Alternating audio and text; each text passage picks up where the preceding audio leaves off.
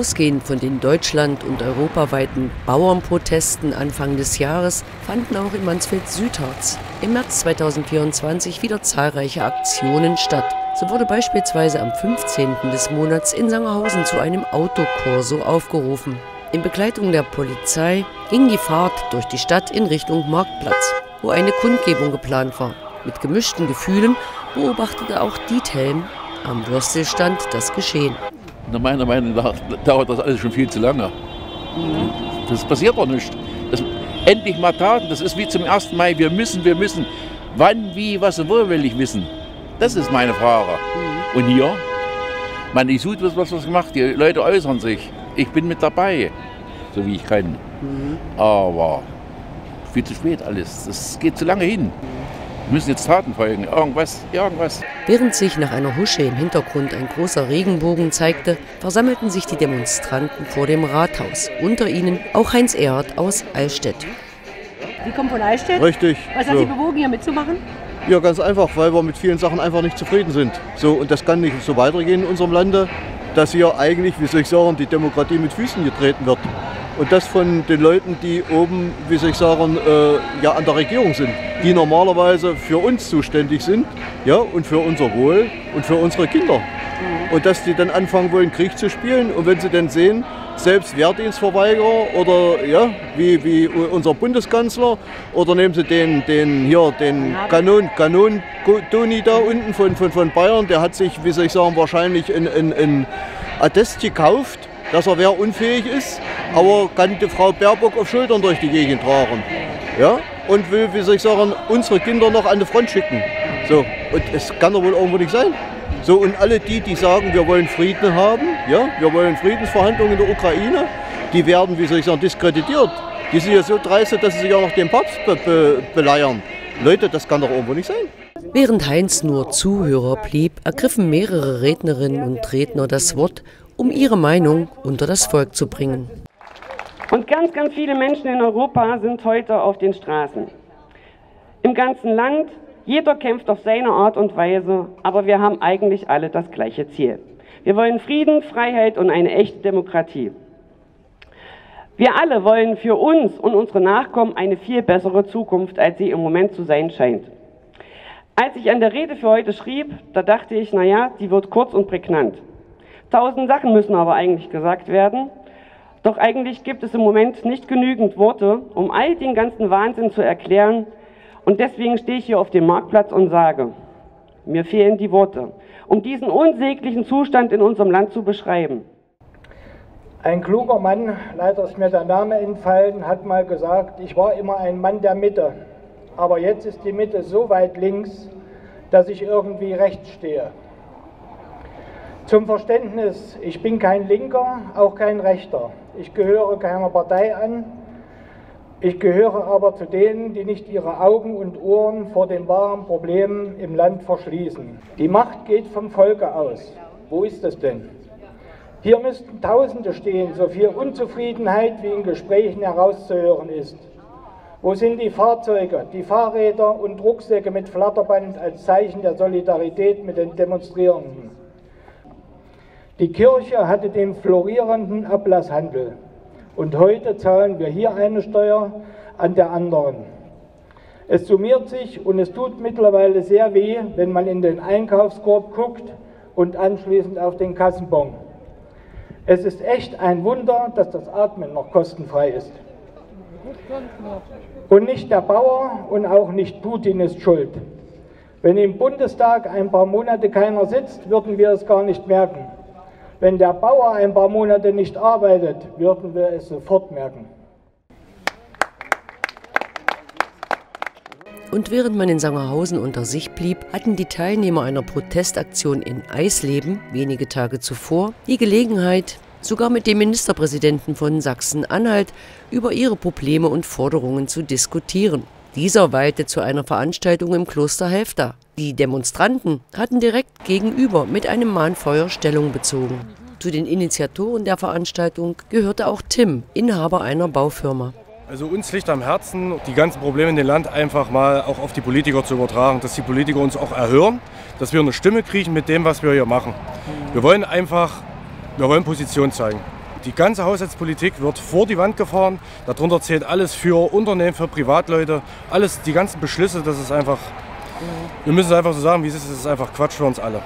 Wie erleben Sie das als kleiner Handwerker jetzt?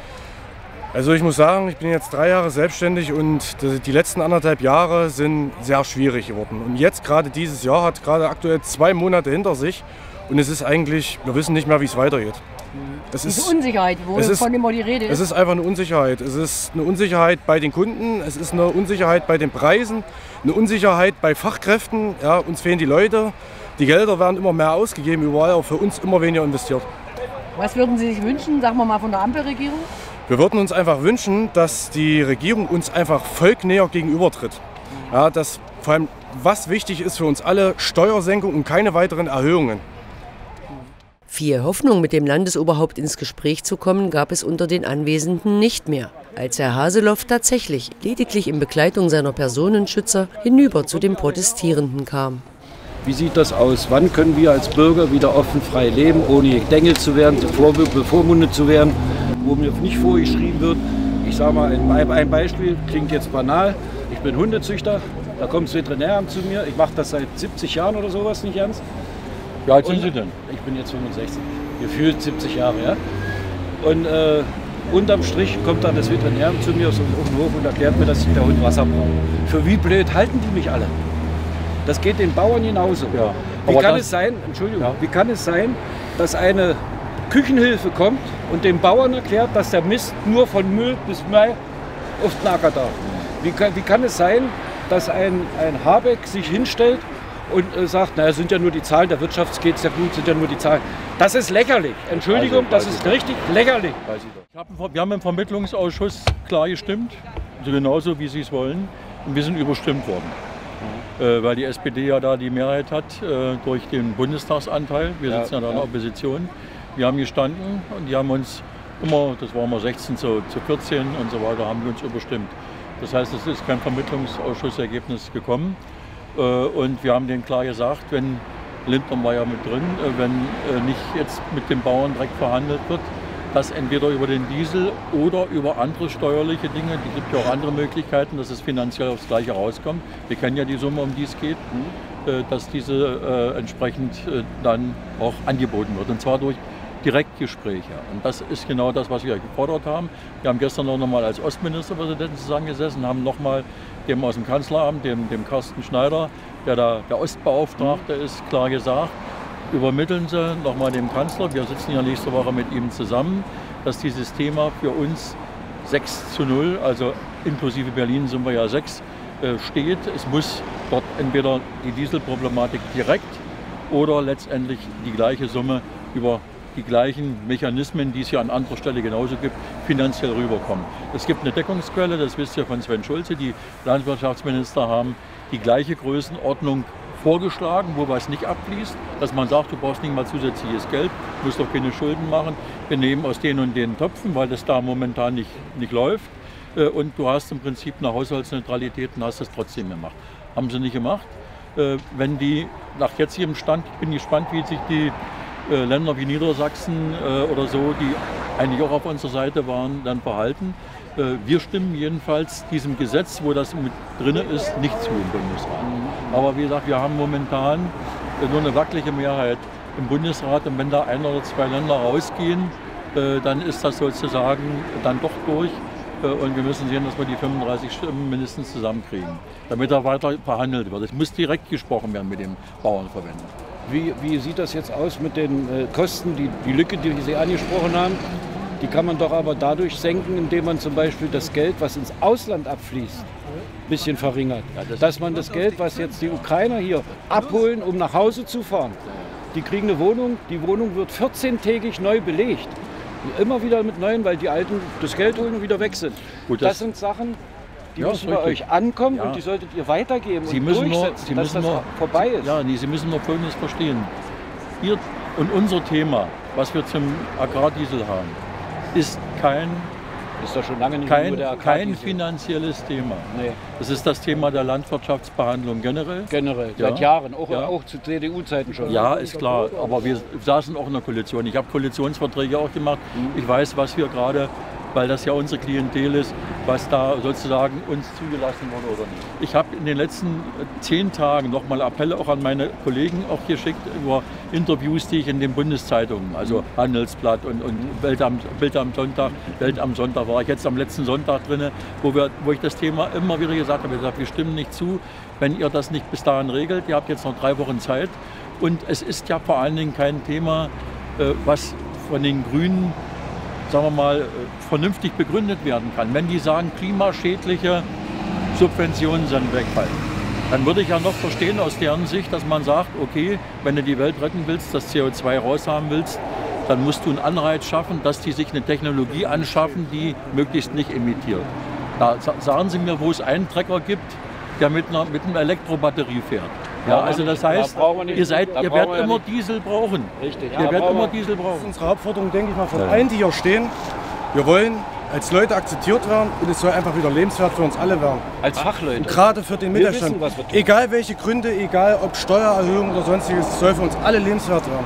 Dieses Land verliert Fachkräfte. Nicht nur Fachkräfte. Das Naja, ist ist, auch unser äh, Grund, warum wir hier stehen als auch so, äh, Jeder, es- der sich leisten kann, haut ab. Ja, Nee, die Bauern nicht, die haben ist Die ja, haben ja Eigentum. Wissen Die müssen ja hier bleiben. ihr wisst ja genau, dass jetzt sozusagen diese Dieselproblematik ja nur der Tropfen, der das zum Das Überlaufen haben Sie gebracht hat. So, das ist so.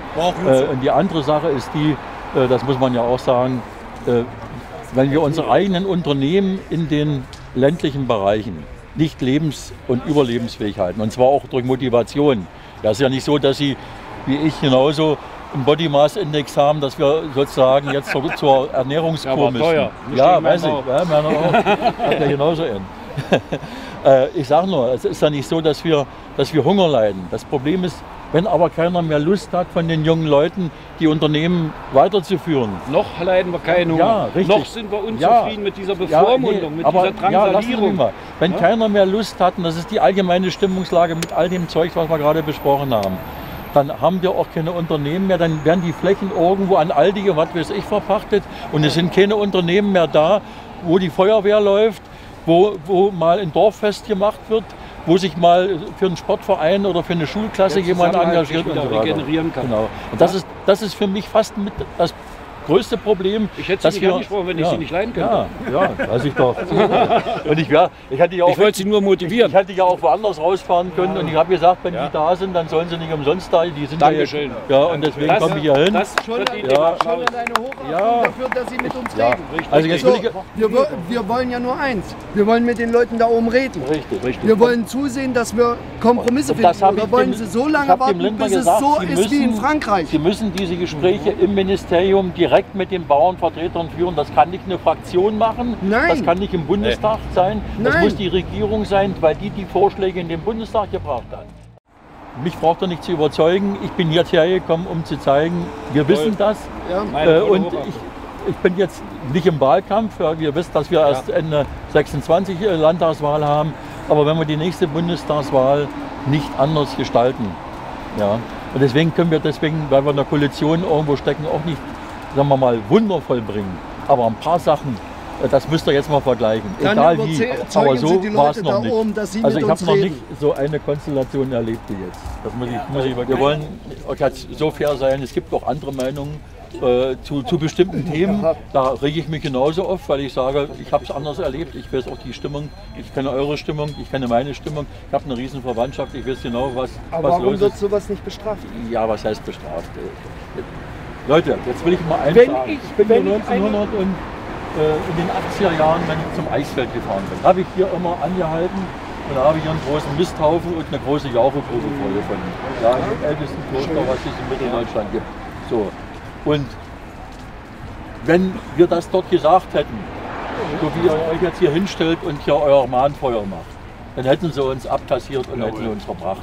So, und da sage ich mal, dass ihr heute eure freie Meinung uneingeschränkt, ja, äh, und ich habe da, ja, also, da- so, ihr, könnt, ihr sagt doch, keiner hat sich doch jetzt zurückgehalten, jeder hat seine Meinung gesagt. Auch das ist schön, eine Sache, die ich allerdings dann auch denen, wo ich nicht deren Meinung bin, auch zugestehen muss. Ja, aber wo ist hier ARD und ZDF?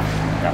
Wo diese Meinung auch wirklich publik gemacht aber, wird. aber jetzt muss ich sagen, wenn Sie gestern, ich bin ja gestern bei einer anderen Fernsehsendung gewesen, ich bin direkt von Berlin nach Leipzig durchgefahren und habe gestern in den MDR-Spätnachrichten, das ist ja auch ARD, ist ja unser Sender hier für, für den Dreisender, und habe von Berlin all das berichtet und zwar acht Minuten lang, was ich euch jetzt gesagt habe zur Landwirtschaft.